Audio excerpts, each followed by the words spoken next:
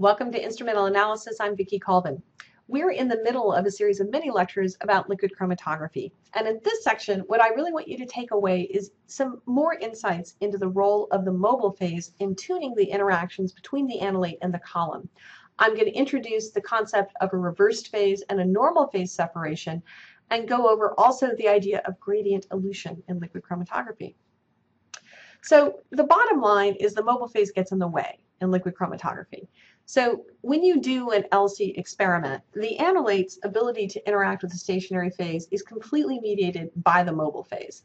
And so you have to really think about the chemistry of the mobile phase just as it relates to the stationary phase. And we learned in the last lecture about strong and weak eluents. Strong being highly interacting, weak being not so interacting. And that the nature of that interaction would control whether the analyte sees or doesn't see that stationary phase.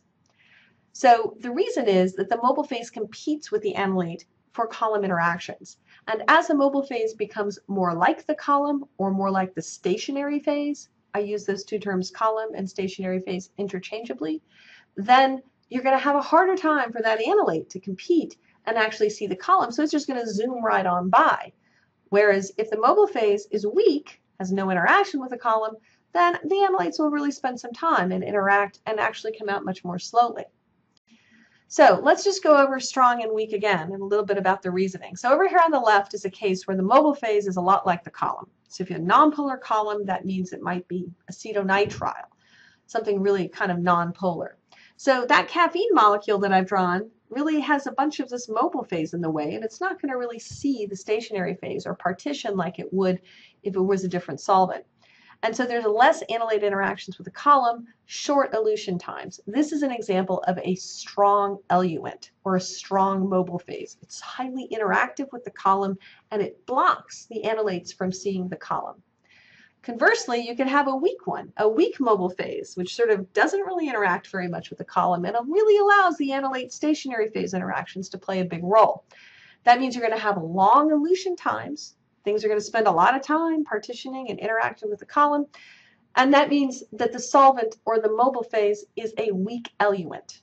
So we have the strong case and the weak case. And just to go back to my cartoon diagrams, we got the really strong mobile phase over here on the left. He's like the cop saying, no way, no how, you're not interacting with my stationary phase. Or you have the weak solvent. Eh, yeah, yeah, I'll share it with you. I don't really care. And those are really your two different situations. So what you want to do in these problems is quickly kind of deduce, do I have a strong eluent or a weak eluent? And that may take some reasoning. Once you've decided that, you'll be able to figure out, okay, if it's strong, it's going to have really rapid, really rapid separations, but maybe overlapping peaks. And if it's weak, I may have a really long separation. Peaks may spread out, but I may have to wait a long time. So let's go back to this example that we looked at in the last lecture, just because I think it's important that you know how to do this reasoning. So again, we have a nonpolar stationary phase. And our primary solvent B is acetonitrile. If it's not specified, the other solvent is almost water. So out here at 90% B, I only have 10% water. So that's not very po polar. It's mainly nonpolar, which means it's going to be a lot like our stationary phase. And that means that our strong eluent is going to be over here on the left, so things are zooming right out. Peaks are piling on top of each other, very characteristic of too strong of an eluent. And over here on the right at 60% B, it's starting to look pretty good. We still can't really resolve 1, 2, and 3, but we at least see all eight of our peaks in kind of a reasonable time. Now, if you really wanted to resolve 1, 2, and 3, of course, you would go to an even weaker eluent that let 1, 2, and 3 really interact with the column. But of course, you don't even want to wait how long you're going to have to wait to see molecule 8. And so that's really the take home with these systems. Now in that case, it's something we call a reverse phase separation. And in the, in the world of chromatography, the terms normal and reversed phase are just, I think, historical. But a normal phase separation, it's always a polar column. Okay, it's always a polar column. And something that's a little confusing to students is you'd think with a polar column, you'd run or run solvents that are water, ethanol, isopropanol. You don't want to do that. you don't want to match your mobile phase polarity to the column too closely because what that's going to do is two things. First of all, it's going to dissolve the column. Column is going to dissolve in the mobile phase. But more critically, there, it's going to be too strong. It won't interact. So you can never match your mobile phase polarity right up against the polarity of your column. You tend to work with polarities that are kind of in the middle. But as you get to more polar solvents, say you have acetonitrile mixed with methanol, as you add more methanol, you are going to get faster separations because you're going to have higher eluent strength. If you're running hexanes, well, that's not going to interact at all with a normal phase column or a not or a polar column. And so you're going to end up seeing that nonpolar mobile phase lead to really long retention times. What about a reversed phase? A reversed phase column is nonpolar. It's really waxy. So you will never run solvents like pure hexanes or a really, really nonpolar solvent. You're going to be working with acetonitrile, maybe, you know, DMF, methanol, isopropanol. And as you go more nonpolar, you're going to get separations that are basically faster and you're going to have stronger eluents. So it's as you match to the column's polarity, you're going to get stronger, but realize you're never going to run a really nonpolar solvent with a nonpolar column, uh, column, and you're never going to run a really polar solvent with a polar column. So in normal phase chromatography then, you know you have a polar column, which means you're going to be running relatively a range of nonpolar solvents. Your most polar might be acetonitrile. And if you're doing reverse phase separations, you're going to tend to work with polar. You might run water actually as a mobile phase. And you're going to be making and tuning the polarity kind of to get it more nonpolar. Almost always, if you can, you will run a reversed phase separation with a nonpolar column. And there's some really good practical reasons for this. The biggest one being, if you're running a reversed phase column, you're much, much, much less sensitive to the presence of water. And one of the real hassles in a chromatography system is having to dry all your solvents. So the problem with normal phase really kind of comes down to you've really got to remove all the water from your mobile phase, which can be problematic. Um, you also have more stable columns that are less reactive. And so typically reversed phase separations are the separation of choice or the go-to separation. Under some conditions, you'll be forced to do normal phase, but you'll always kind of want to avoid it if you can. So here's a table just to help you practice some of what we've been talking about. Elution strength is an interesting parameter. Uh, your book, which I hope will be available to you this week, will actually tell you a little bit more about that. But it's a measure of strength. So if you have an elution strength of one, things are identical.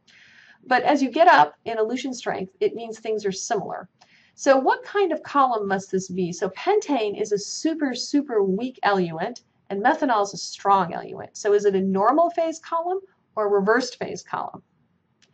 Well, this is a normal phase column. Remember, normal phase equal polar.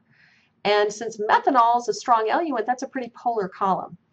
So why do some things elute, would, would things elute faster or slower with methanol? Well, methanol is the strong eluent. It's going to say, no, you can't interact with the stationary phase, and things are going to go zooming on by.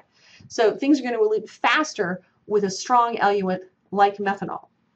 And the final question you don't know the answer to yet, but I'll throw it out there for those who are reading ahead or have some background in this area. The reason the UV cutoff matters is that the dominant way we detect things in chromatography is through UV absorbance. And once you're past the cutoff, or if your solvent is absorbing all the light, it's black and you won't be able to see what's in there. So you typically want UV cutoffs that are as small as possible or wavelengths that are to the blue, as blue as you possibly can get. So going back to the solvent effects. You've seen this graph a lot now, so I won't go over it again, but I do want to go over the example where we ran 30% acetonitrile and 70% water. The good news about that separation is we are able to pull apart peaks 1, 2, and 3. The bad news about that separation is to even get to peak 5, we had to wait 46 minutes. So the question is, what can you do if you're only running a solvent with single composition, you're always going to have this problem Uh, that if you have a lot of analytes, some of which are more polar than others, you may have to wait a really long time for them all to come off the column. So what are you going to do about that? Well, you're going to do something called gradient elution. Typically, you're going to start the separation with a weaker eluent. I'm going to say that again. You're going to start your separation with a weaker eluent. And the reason is that you want to start and give everything a lot of interaction with the column. And so you're going to start to pull things off the column, peaks one, two, and three, but they're not going to be peaks that or, or analytes that interacted much. Over time, though, you're going to start to increase the strength of your eluent. Remember, this is a non-polar stationary phase.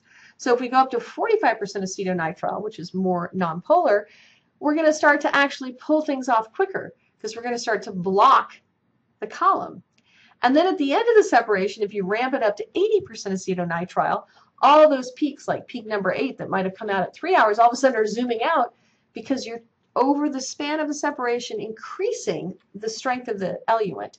So in a gradient elution, you always start with a weak solvent, and by mixing in another solvent, you make it stronger and stronger and stronger and stronger so as to pull out your late eluting peaks and make them come earlier. It's very analogous in gas chromatography. If you remember, we had a temperature ramp on the system. So we finished the chromatography run at a higher temperature than when we began. And we did that so as to get those really highly interacting analytes out of the column and into the detector. And you're doing the same thing here. By going to a stronger solvent, you're blocking those interactions and you're forcing your analyte out. And so if you look at that 80% acetonitrile peak, what's going on there is you're pulling out analyte 8 because you've got such a strong eluent, it can't really interact with the column. So I've pretty much gone over the basics of the chemistry of chromatography columns in the LC system. So in the last lecture of this week, we'll be talking about the detectors that we use for LC systems. Thanks so much, and I'll see you next time.